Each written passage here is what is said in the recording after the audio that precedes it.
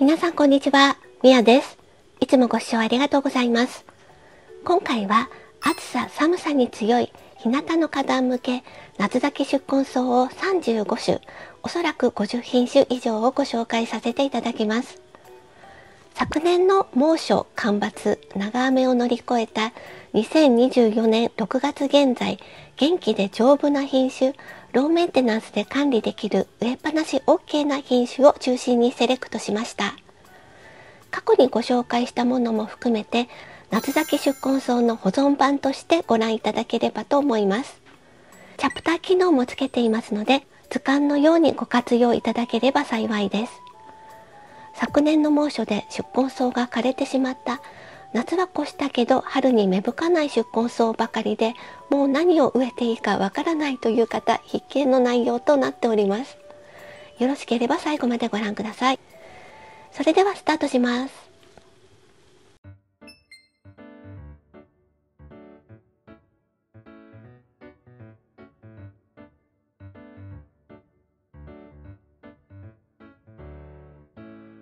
青イカ、マーシュマロウ。ややシルバーがかった色味の葉は綿毛に覆われたビロードのような手触りです。これから薄いピンク色のお花が咲いてきます。前奏ハーブとして使えるそうで、お菓子のマシュマロはこのマーシュマロが名前の由来だそうです。もう7年以上植えっぱなしかと思いますが株のサイズがずっとこのままで我が家では一向に増えないので特にコンパクトなお庭の方におすすめしたい出根草です。青イカの中では小型の方かなと思います。アカバナ科ガウラ現在3品種ほど育てていて草丈は高性の品種が1メーターちょっと。Y 製のピンクの品種が4、50センチ、Y 製の白花の品種がコンパクトガウラビーンズフェアリーという品種名で草丈40センチほどです。3品種とも春から秋までと花期が長く、とにかく性質が丈夫で、病害虫の心配もあまりいらない出根草です。春からずっと咲いてくれているので、梅雨前に一度切り戻しをし、次は8月頭くらいにもう一度切り戻しをすると秋まで長くお花を楽しめます。アブラナ科栄養系アリッサム一年草タイプのお安いアリッサムは夏越しはちょっと難しいですが栄養系のアリッサムは夏越し可能です。それでもガンガン直射日光が当たるところよりは東側などの花壇の方が夏越ししやすいと思います。一通り咲いたら半分くらいに切り戻すを繰り返すことで株元の木質化を防ぎほぼ通年お花を楽しむことができるとっても優秀な多年草です。今うちにある栄養系アリッサムはこの紫の子と白花は BW さんのスーパーアリッサムスノープリンセスになります。どちらも一昨年ぐらいに植え付けして夏冬問題なく越してくれました。初夏くらいから小さな黒い芋虫、カブラハバチの幼虫に食害されやすくなりますので、定期的にチェックするようにしてください。イソマツ科スターチスラティフォリウム。スターチスは一年草が一般的かと思いますが、こちらは原種のスターチスで出根するタイプになります。もう5年以上植えっぱなしかなと思います。我が家ではあまりにも株が大きくならないので、今年の春に株分けをしてみました。本来はロックガーデンやドライガーデン向きらしいのですが、我が家のジメジメ庭でも育ってくれる、とっても丈夫で育てやすい性質です。草丈も40センチくらいとあまり高くならないので、コンパクトなお庭の方にも向いていると思います。ミスト状に咲く薄いパープルのお花は他とあまり被らないので植栽に変化もつけてくれます。株分け、移植もしやすく、とにかく性質が丈夫なので、ぜひラインナップに加えていただきたい出根草の一つです。大箱科ベロニカ・シャーロッテ。リーフに符が入る白花の品種です。我が家のベロニカは春咲きの品種が多いのですが、このシャーロッテは初夏から秋までと長くお花を楽しめます。加湿だと倒れやすくなるので、堆肥の他に軽石やゼオライトを混ぜ込んで植え付けをしています。大箱科出根リナリア、パープル、ピンク、ホワイトの3色が我が家にはあります。3色とも出根しますし、とにかくこぼれ種がよく出ます。次から次へとこぼれ種が芽吹くので春に咲いた株は夏越しさせずにこぼれ種の株で更新していますが早めに切り戻しをすれば夏越しも可能です。こぼれ種を活用すると春から秋までほぼ絶えることなくお花を楽しむことができますし3色とも控えめな花色で脇役的に使えるので植栽が空いたところにちょっと植えるのにも重宝しています。移植にも強く日向からシェードガーテンまでどこでも育ってくれる丈夫な性質も大変魅力です。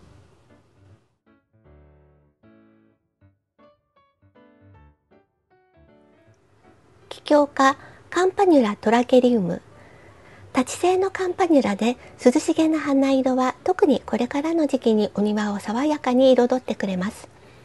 半日陰くらいが向いていますが日向の花壇でも育つくらいの狂犬種です。こぼれ種がよく出るので増えすぎには少し注意が必要ですが、うちのようにカンパニュラが育ちにくい庭でもたくましく育ってくれるとっても頼りになる品種です。気境科出根ロベリアブルーセレクション日本のサバキョウの禁煙種にあたる品種です。ブルーの花穂をたくさんあげて咲く姿はとっても美しいです。お花の時期は7月がメインですが、5月ぐらいまでパラパラと咲いてくれます。日当たりの良い場所が向いていますが、本来は湿地に育つ宿根草なので、我が家のようなジメジメした庭に比較的向いているようです。ただ乾燥が続くと肌にがつきやすくなるので、定期的に葉裏にお水をかけるように少し注意しながら管理しています。キク科アキレア8年以上植えっぱなしの出根草で、我が家には白ピンクの2種類があります。今年は春が寒かったせいか、やっと日向の株が咲き出したところで、半日陰エリアはまだまだこれからの開花です。一番花が一通り終わりましたら、お盆くらいまでに切り戻しをしておくと、秋にもまた開花してくれます。どうしても下葉が蒸れて汚くなるので耐えられずいつも一番かなと地際近くまで刈り込んでしまうのですがそれでも秋にはちゃんと開花してくれます。すぐに大株になるので簡単に株分けで増やすこともできます。キク科エキナセア。現在6品種ほど育てていると思いますがこちらは2020年秋に種まきしたエキナセアです。2022年に開花して去年10円にしたところ今年かなりの大株に育ってくれました。おそらくエキナセやパープレアかと思いますが国家園さんで購入した種にはエキナセや桃と書いてありました。黒軸なところと鮮やかなピンク色のお花はザ・夏の出根草という感じでメドウガーデンにぴったりだなと思っています。エキナセアは基本的に我が家では難しい品種が多いですがパープレアだけは他の株も長年植えっぱなしでよく育ってくれています。さらにこの株は種から育てたということで種から育てると環境に順応した株に育ってくれるそうなのでこれから我が家の夏花壇の主役になってくれるんじゃないかなと楽しみにしています。他の八重咲きのエキナセアも少しずつ開花してきていますが2年目開花後に大体お亡くなりになってしまうので株分けしながら半分は鉢で育てるなどしてバックアップを取りながら全滅させないように注意して育てています。エキベキやエレクトラショックエキナセアとルドベキアのハイブリッド種です。花弁が丸まって葉裏が表に出ることで少し茶色に見える変わった品種です。こちらの株は今はとっても元気なんですが 1年目の花後に瀕死の状態にまで陥りまして2年目は芽吹かないだろうと覚悟していたんですがかなり強い品種のようでしっかり復活してくれました以前住んでいた家で黄色系のルトベキアが地下茎で増えすぎてそれがトラウマになりまして去年まで木陰の目立たないところに植えていたんですがこの品種は増えすぎる心配がないのと黄色系でも落ち着いた花色なので今年からメドウガーデンの中央に昇格させました初夏から秋までと夏季が長いのと何より丈夫さが最大の魅力かなと思います。キク科エリゲロン春から晩秋までと夏季が長いことで有名な宿根草です。性質も大変丈夫で日向から日陰までどこでも育ってくれます。草丈が低くグランドカバープランツとしても活躍してくれます。切り戻し、移植にも強いですし、こぼれ種でも増えるスーパーな宿根草です。キク科ガイラルディアグレープセンセーションガイラルディアといえば黄色やオレンジ色の花が思い浮かぶかと思いますがこちらは原種系のガイラルディアでくすみがかったローズピンク色のカラーがここ数年で注目を集めました。乾燥した痩せ地を好むそうで我が家のような過失な庭にはあんまり合っていないのですがそれでも去年はこれだけのお花を見せてくれて株も順調に大きくなっています。お花がたくさん咲くのでどうしても倒れやすいのが難点なんですができるだけ水はけを良くして植え付けることと開花前にフェンスなどで保護しておいてあげると綺麗にお花を楽しめるかなと思います。キク科コレオプシススタークラスター。夏は白花で秋には花弁に色味がさす品種なのですが去年は秋が暑すぎたせいか色があんまり変わらないまま終わってしまいました。一昨年植えた別のコレオプシス2株は翌春芽吹かず枯れてしまったのでこの株も猛暑でダメージを受けてしまったかなとちょっと心配しましたが今年は株が倍くらいになりお花も3倍くらいついたので その勢いには少し驚かされています。茎伏せですぐ近くにもう一株増えたので余計に大株に見えているかもしれません。一番果終わりましたら株の半分くらいまで切っておくと秋にもまた開花してくれますキク科ストケシア今年は開花が少し遅れましたがいつもですと5月末くらいから初秋まで咲いてくれる夏季の長い出根草です大きめのブルーのお花が次から次へと咲いてくれます。枯れる心配はほぼないと言っても過言ではないくらい強い品種です。うちはブルー系しかありませんが、白やピンクの花色もあります。草丈30から40センチくらいと低めなので管理もしやすい品種です。キク科ルドベキアアーバンサファリ。こちらは2年目のサバンナサンセットという品種です。去年より一回り大きくなって花数もとっても増えましたこちらは PW さんの品種なので普通のルトベキアよりは丈夫かもしれませんが一般的なこのような八重咲きのルトベキアは2年目開花後に大体ダメになってしまうので 念のため刺し目をして保険株を作っています。6月は刺し目がとってもつきやすいですので心配な方は刺し目をしてバックアップを取っておくことをお勧めします。でこちらのサバンナサンセットはとっても順調に育ってくれてるのですが同じくアーバンサファリのフォレストグリーンの方はこうやって上から見るといっぱい咲いてくれそうに見えますが下を見るとなんと盛大にうどんこ病になってしまいまして葉っぱの大部分が傷んだのでむしってしまいました。PW さんの品種なので大病性はあるだろうと油断してましたね。現在スプレー剤を散布して様子を見ています。こちらも刺し目でバックアップは取ってあるので万が一ダメになってしまっても大丈夫かなと思います。近方外科クレマチス踊り場。我が家のクレマチスの中でも一番遅咲きで6月中旬にピークを迎える品種です。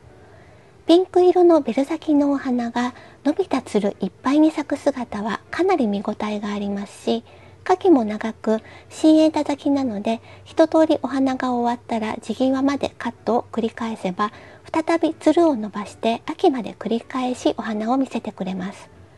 さすがに2番花以降はここまでは咲かないですけどね。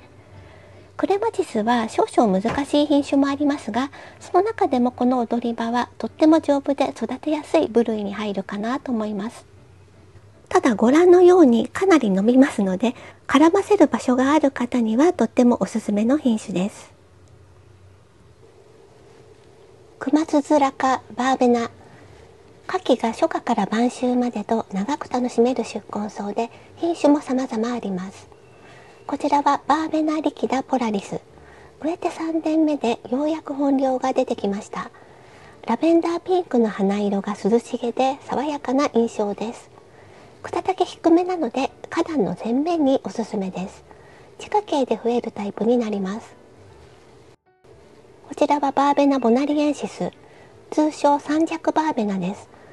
細身のラインに紫のポンポン咲きのお花が咲き、草丈は高めですが線が細いので花壇の手前の方にいても邪魔にならず、様々な草花ともよく調和します。この時期蝶もよく集まるので見ているだけで癒されます。ナチュラルガーデンには欠かせない宿根草ですが、ややこぼれ種が出すぎるのと、1株が大株になるのが早いので、こぼれ種の残しすぎには注意してください。バーベナメテオールシャワー。PW の改良品種で三尺バーベナのミニチュア版になります。草丈5 6 0センチほどでコンパクトに収まりこぼれ種もほぼ出ないかなり育てやすいおすすめのバーベナです。バーベナバンプトン。気温が低い時は銅葉がきれいに出る品種でカラーリーフとしても楽しめます。ただこぼれ種の量がかなり大量に出るのでそのあたりは注意が必要です。大株になるのも早いので過剰なこぼれ種は容赦なく抜くことをお勧めします。バーベナハスタータとんがったお花をつける高製のバーベナです。草丈高めですが細いラインで自然味あふれる草姿はナチュラルガーデンには欠かせません。花期も長く性質も丈夫で移植にも強いおすすめのバーベナです。パンプトンほどではありませんがこぼれ種でもよく増えます。シソ科アガスターシェ。花期が長く初夏から秋まで爽やかなブルーのお花を楽しめます。花色はブルーが一般的ですがアルビノというホワイトの品種も植えていてどちらも丈夫で育てやすくこぼれ種もよく出ます。草丈は高めですが株幅がそこまで出ないので植栽にも入れやすい宿根草です。サルビアスペルバボルド。ーブルーとディープブルーを植えています。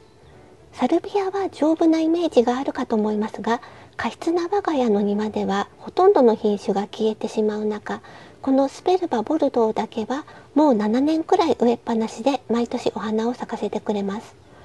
よく似た花姿のサルビアネモローサよりかなり性質が丈夫なのでとてもおすすめです。スーパーサルビアロックンロールブルーティアーズ。PW の大型のサルビアです。性質はとても丈夫でブルーの花色がとっても綺麗な品種です。セルフクリーニング機能で花柄が目立たないので花柄摘みに追われることがないのも気に入っています。ただかなり大型になり草丈も株幅も出るので余裕を持って植え付けした方がいいと思います。4月に30センチくらい芽吹いたところで地際までカットしておくと一番花の開花を少し低く抑えられますが今年はカットしなかったのでやっぱりでっかく育ってしまいました。お花が終わったら草丈半分くらいまでカットを繰り返すと秋までお花を楽しめます。シソ科ネペタ4種類ご紹介します。ネペタヌーダ今年は5月末から開花が始まり、現在一番花終盤なのですが、ブルーグレーの花色が何とも神秘的で、遅咲きのランブラーに合わせるのにうってつけの出根草です。開花時期は一番花がメインですが、軽く切り戻すと少し返り咲いてくれます。性質はとっても丈夫で、土質も選ばず育ってくれる超おすすめの品種です。ネベタウォーカーズロー猫が大好きな草花として有名で別名キャットミントと呼ばれています。ブルーの小花とシルバーがかったリーフが爽やかな印象でとっても丈夫な出根草です。草丈は5 6 0センチぐらいですが放任すると株幅が1メーターぐらいになってしまうので少々注意が必要です。道を塞いで邪魔だったので周りをカットしたらこんなに小さくなってしまいました。ネベタジュニアウォーカー。ウォーカーズローよりかなりコンパクトに育てられるキャットミートです。草丈も低くコンパクトなので植栽にも入れやすい品種です。PW ネベタキャッツパジャマ。ジュニアウォーカーよりやや小型のネベタです。花色がジュニアウォーカーより少し濃いかなと思います。こちらも育てやすく丈夫な品種です。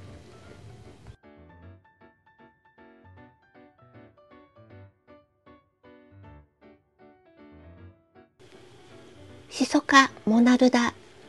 こちらはモナルダラベンダーで1番花はそろそろ終わりなのですが早めに切り戻すと2番花3番花と咲いてくれます。他の品種はこれからの開花です。今年は例年よりかなり開花が遅れているような気がします。こちらの白花はもう8年くらい植えっぱなしでかなり大株になっています。今年はうっかりしていたのですが4月に一度切り戻しをしておくと草丈低めに開花させられます。モナルダは毎年どんどん株が大きくなるので株分けしながら減らしていますがすぐに元通りになるくらい生育が旺盛です。狂犬種ですがうどんこ病には少し注意が必要です。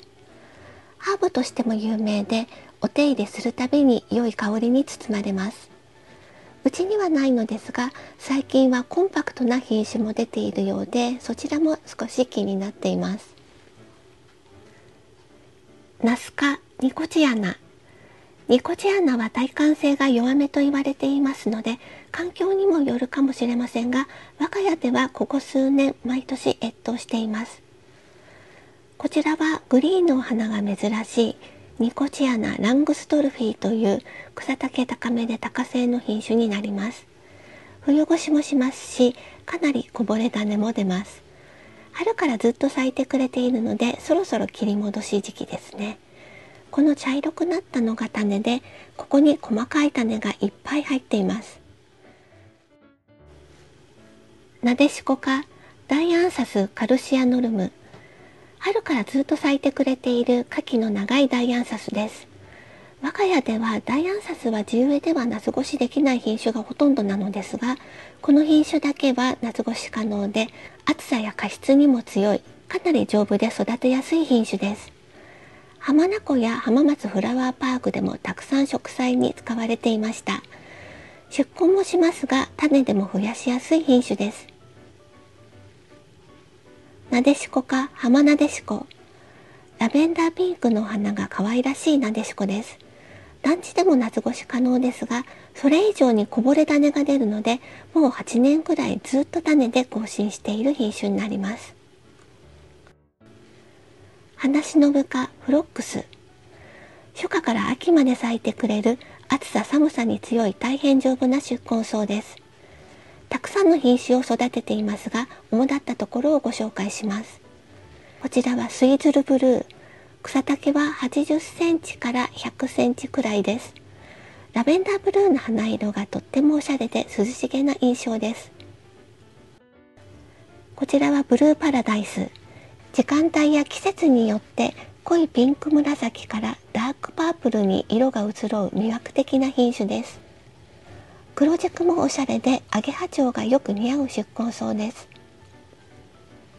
フレームライトブルー。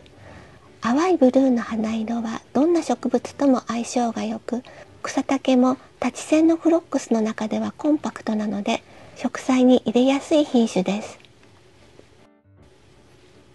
PW オープニングアクトピンクアドット。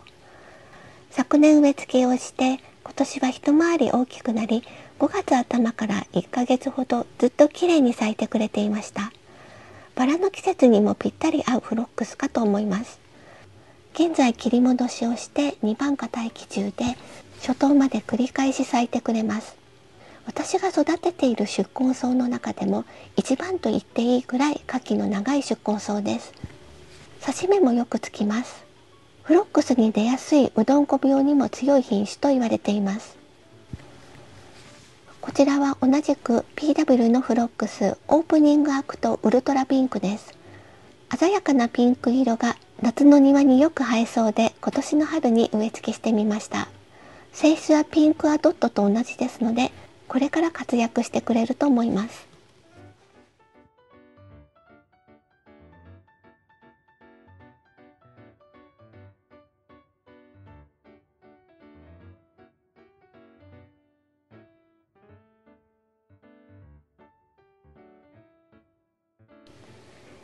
バラ科サンギゾルバピンクタンナ。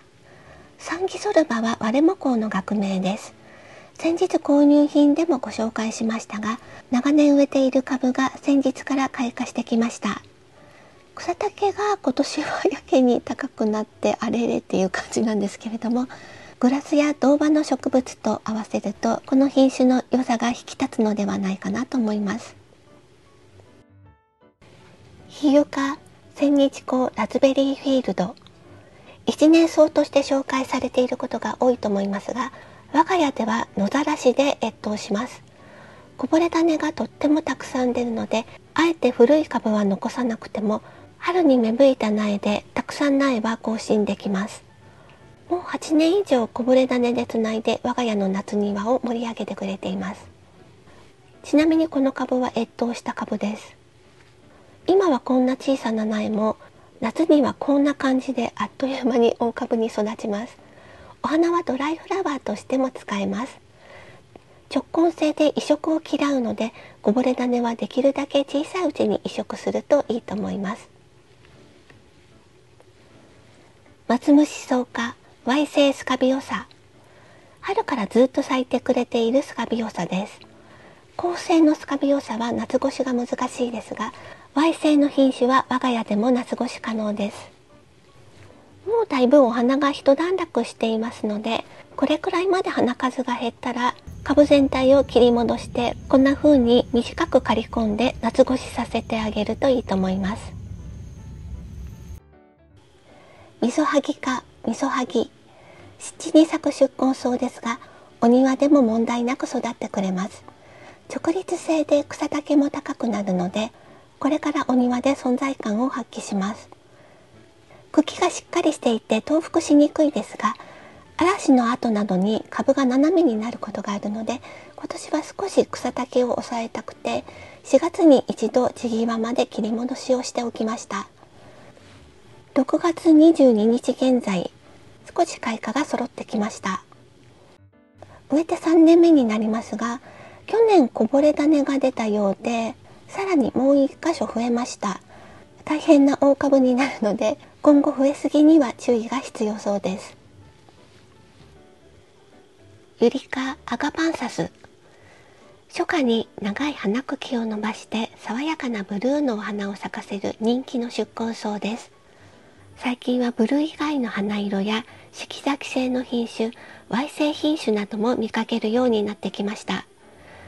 性質が丈夫で植え込んだ後はほぼ本人で育つとってもローメンテナンスな出根草です。ユリカアリウム。アリウムは春に咲くタイプも多いですが今回は初夏以降に咲く植えっぱなしでどんどん増える丈夫なアリウムをご紹介します。こちらはアリウム単調です。6月から7月に開花する赤紫色のアリウムで直線的なフォルムは群生させるとお庭のアクセントになってくれます。草丈1メーター近くになりますが茎は結構しっかりしています。こぼれ種でとってもよく増えますが開花後に落葉するので増えすぎてもあんまり邪魔になることはありません。お花が虫に食べられやすいのでつぼみが上がったらすぐに虫除けをしておくときれいにお花を楽しめます。アリウムサマービューティー。ラベンダーピンク色のポンポン咲きのお花を咲かせる夏咲きのアリウムです。草丈40センチほどで夏咲きのアリウムの中では少し大きくなるタイプです。アリウムミレニアムサマンビューティーより小型で花色はサマンビューティーより少し濃いめになります。アリウムセレンティビティミレニアムの株変わり品種で葉がシルバーブルーになるタイプです。一昨年植えてだいぶ株が大きくなってきました。シルバーブルーの葉っていうのはあんまりピンときませんがこれからお花がたくさん咲いてくれそうで楽しみです。夏咲きのアリウムはとにかく丈夫でこれからの夏い暑に欠かせない宿根草になっていくと思います。まだ植えたことがない方はどれでもいいのでぜひ一株植えてみてください。ユリ科ツルバキやグラスのような細い葉に花茎を上げてラベンダーピンクの可愛いお花を見せてくれます。初夏から秋までと夏季が長いですしある程度の水はけと日当たりがあれば長年植えっぱなしで元気に育ってくれます。すぐに大株になるので株分けでどんどん増やすこともできます。ちなみにシルバーレースという不入り種も育てていますが我が家では一向に大きくなりませんしお花もほとんど咲いたことがありません。この品種はかなり水はけが良くないとしっかり育たないのだろうと思います。ユリカヘメロカリス。デイリリーと呼ばれていて一輪のお花自体は1日から2日で終わってしまいますが次から次へとつぼみがついて6月から7月メインでお花を咲かせてくれます。加湿に強く悪い条件でも元気に育ってくれるとっても頼もしい宿根草です。ユリズイセン科アルストロメリア何種類かアルストロメリアを植えていますがこの赤花の原種系の品種が我が家では一番よく育ってくれます。もう8年くらい植えっぱなしのとっても丈夫な品種です。今年はちょっと花つきが悪い気がしますのでそろそろ株分けした方がいいかもしれません。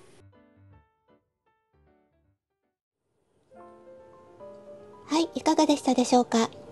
今回は夏咲きのおすすめ宿根草を2024年バージョンとして35種ご紹介させていただきました